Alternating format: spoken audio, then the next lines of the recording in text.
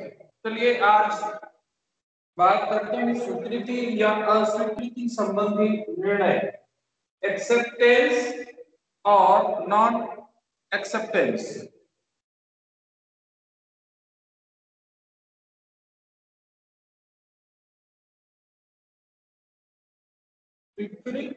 या अस्वीकृत। इससे संबंधित क्वेश्चन करते हैं। ठीक है? एक्सेप्टेंस और नॉन एक्सेप्टेंस क्या आप क्वेश्चन नोट करने के लिए तैयार हैं?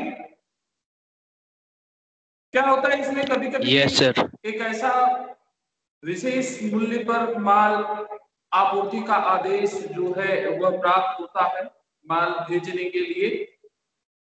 तो इस समय ये समस्या होती है कि इस मूल्य पर उसे स्वीकार करना चाहिए या नहीं, जिस मूल्य पर उसको आपूर्ति के लिए आदेश मिला हो या उसका कॉन्टेक्ट हुआ हो तो क्या वो उस मूल्य पर उसको स्वीकार करे या अस्वीकार कर दे?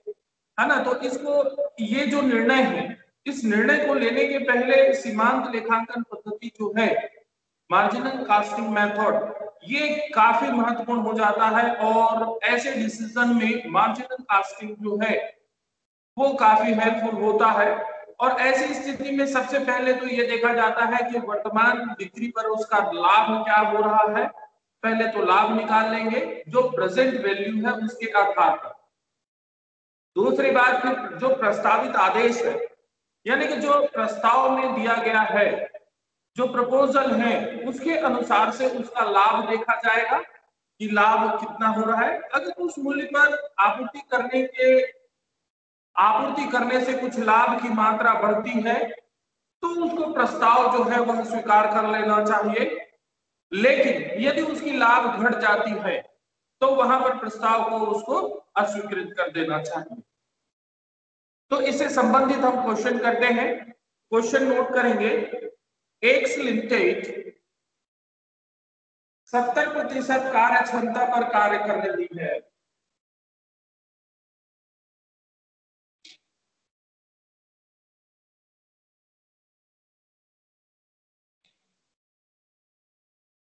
सत्तर प्रतिशत कार्य क्षमता पर कार्य रही, कार्य कर रही है।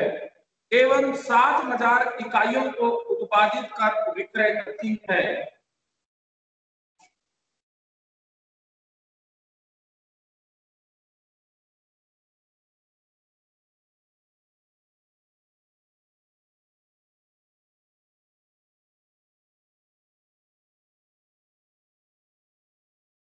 उत्पादन लागत एवं बिक्री मूल्य निम्नलिखित है X Limited is working at 70% capacity and is proceeding and selling 70 70,000 units sorry 7,000 units the production cost and selling price are as follows.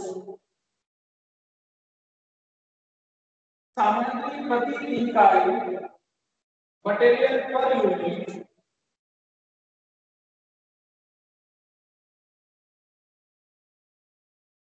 आठ रुपए। श्रम प्रति इकाई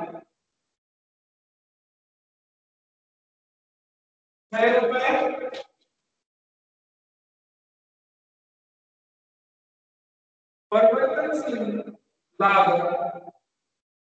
वेरिएबल कॉस्ट पर यूनिट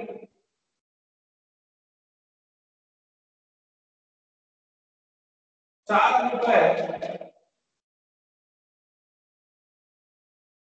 कुल स्थायी लागत total fix cost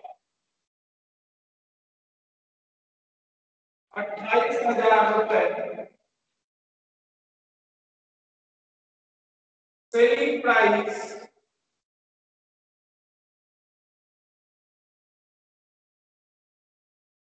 twenty five, पच्चीस रुपए प्रति इकाई।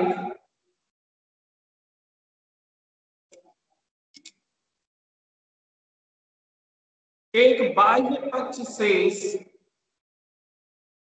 तीन हज़ार इकाइयों को क्रय करना चाहता है। An outsider wants to purchase the remaining three thousand units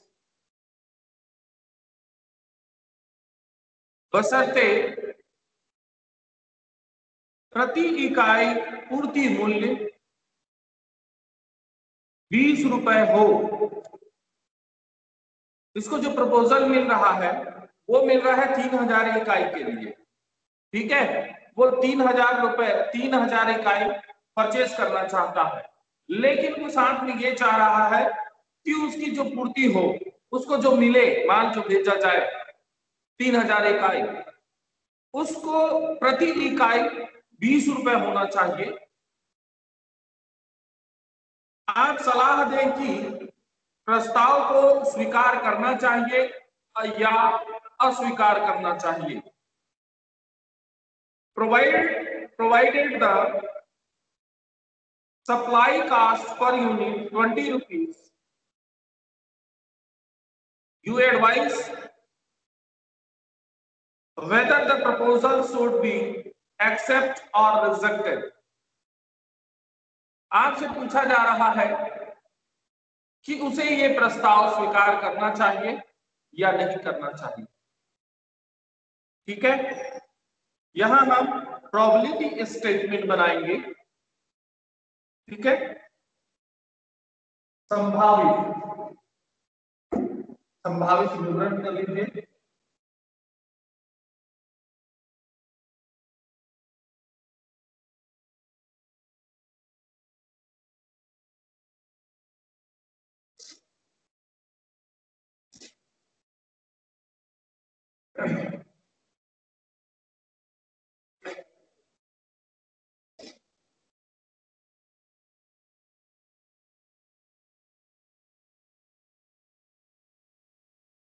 कितने कितने इकाई के लिए है?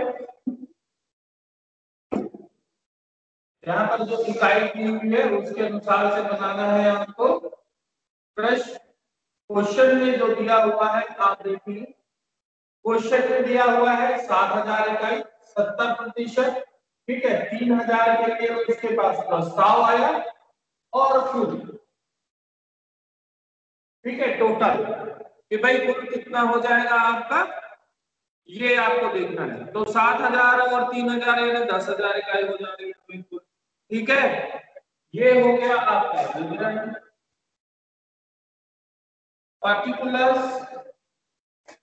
सेवन थाउज़ेंड और थ्री थाउज़ेंड ये क्या है आपका? यूनिट इकाई नहीं इकाई, ठीक है? ये कितनी इकाई थी? सत्तर प्रतिशत और तीस प्रतिशत। आप इसको प्रतिशत में करेंगे क्षमता। क्षमता के आधार पर सत्तर प्रतिशत क्षमता पर और तीस प्रतिशत क्षमता पर और हंड्रेड परसेंट। ठीक है?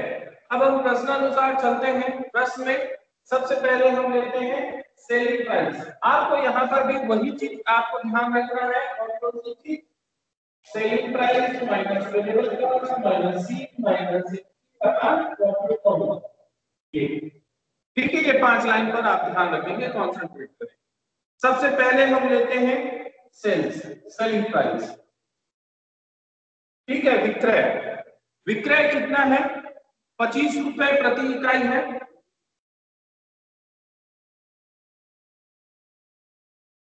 कितने पर?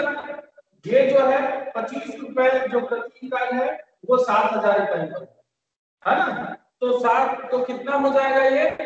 एक लाख पचहत्तर हज़ार। ठीक? तीन हज़ार इकाई के लिए उसने कहा था, बीस रुपए होना चाहिए।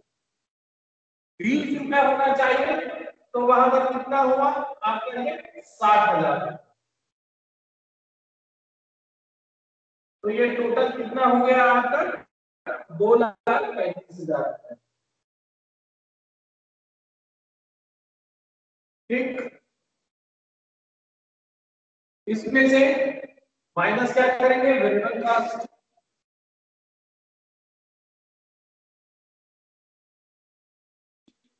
वेरिएबल कास्ट परिवर्तनशील लागत। परिवर्तनशील लागत जो है, वह प्रति इकाई होता है। परिवर्तनशील लागत में हम देखें कौन कौन सी लागत दी हुई है। आपका मटेरियल दिया हुआ है लेबर दिया हुआ है और वेरिएबल कास्ट दिया हुआ है। ठीक है? तो पहले हम मटेरियल ले लें। मटेरियल दिया हुआ है, लेबर दिया हुआ है, वेरिएबल कॉस्ट दिया हुआ है। ठीक? ये तीनों ही ले लेंगे। वेरिएबल एक्सपेंसिव तो कितना कितना रुपए है ये? प्रति आठ रुपए है। इसका जो है छह रुपए है और ये है चार रुपए। ठीक है? आप चाहें तो इसको एक साथ कर सकते हैं। अठारह रुपए हो रहा है। ठीक है? तो अठारह से भी कर सकते हैं आप। तो ये कितना हो जाएगा इसका? गुणा करेंगे मल्टीप्लाई करेंगे। कितना हो जाएगा ये? छप्पन हज़ार। ठीक है? फिर आपका छह रुपए के हिसाब से बयालीस हज़ार और चार रुपए के हिसाब से अट्ठाईस हज़ार रुपए। ठीक है? नेक्स्ट तीन हज़ार इकाई के लिए है। तो तीन हज़ार के लिए कितना हो जाएगा? चौबीस हज़ार रुपए। अठारह हज़ार रुपए। बारह हज़ार रुपए। ठीक? हंड्रेड परसेंट जा रहा है उधर। तो ये क्या हो गया? दोनों पद को जोड़ोगे तो आप।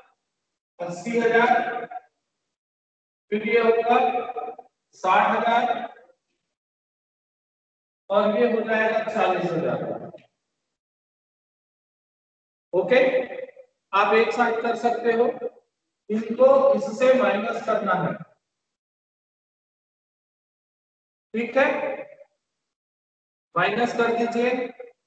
माइनस करेंगे तो देखिए कितना आता है। यहाँ पर क्या हो जाएगा आपका? अंशदान। कंट्रीब्यूशन ठीक है?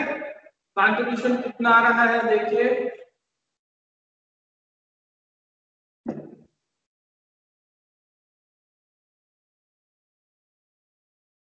ये तीनों जुड़ते माइनस होंगे, है ना? ये वेरिएबल है। ठीक? इसको माइनस करेंगे तो कितना हो जाएगा ये?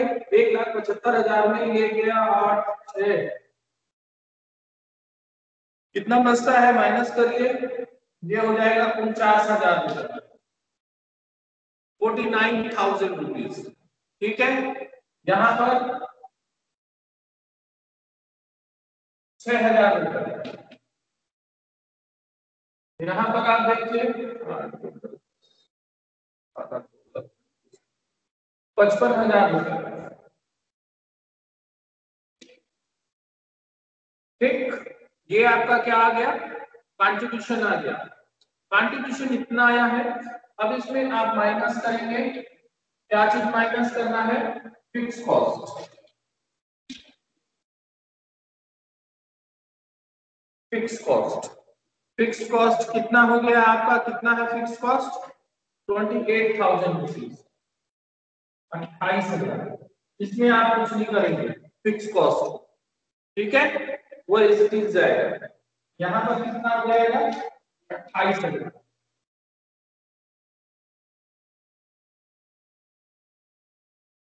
ठीक? माइनस कर दीजिए। तो कितना बच जाएगा इसमें? इक्कीस हज़ार रुपए।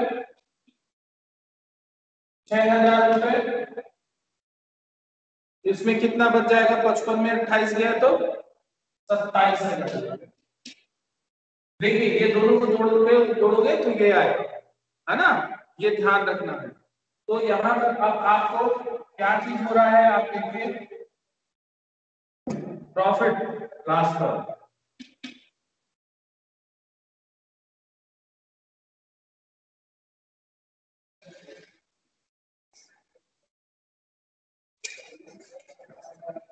एक मिनट, है ना?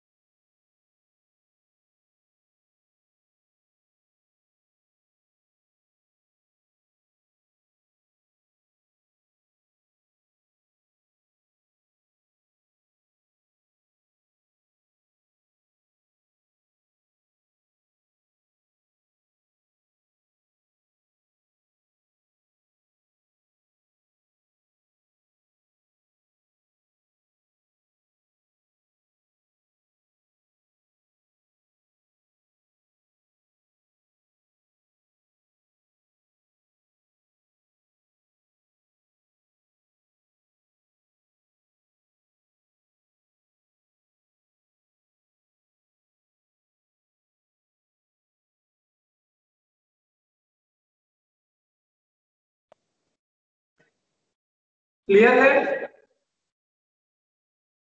तो यहाँ पर आप देखेंगे कि जो सात हज़ार इकाई है, उसमें लाभ कितना हो रहा है उसको?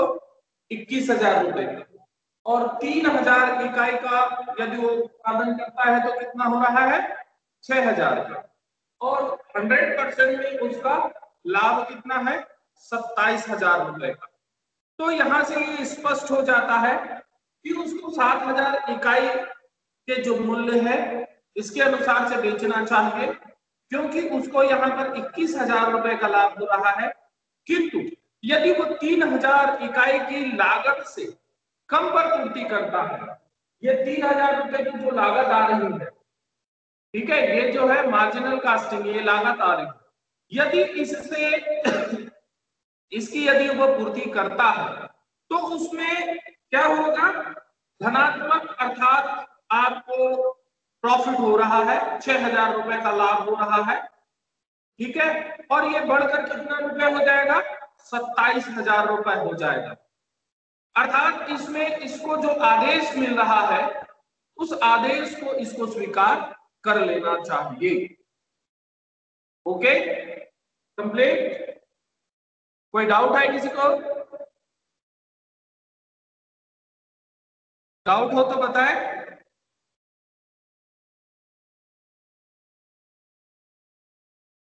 अच्छा इसके आगे हम चलते हैं बनाओ या खरीदो का निर्णय। ठीक है?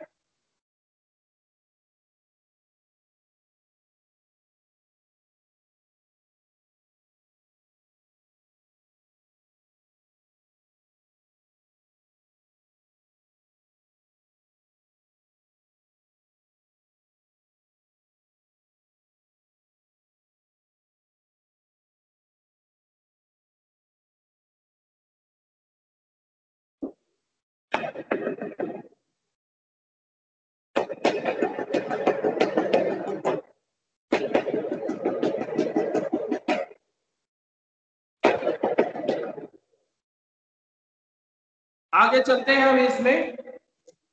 बना खरीदो।